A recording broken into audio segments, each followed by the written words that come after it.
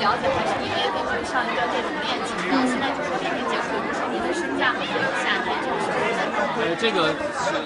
最近有消息称，前程嫂熊黛林与郭富城结束七年感情生活后，身价暴跌，工作量锐减。日前亮相长沙某活动的熊黛林，画着烈焰红唇妆，对于记者采访时笑着有求必应。不过一旦问题涉及郭富城，她就立刻避而不答。因为之前就是郭富城不是也说过，他说感情就像鞋，就是不舒服就换上，您会这样比这件事吗？我觉得恋情的东西我答的太多了，那还是告一段落吧，谢谢。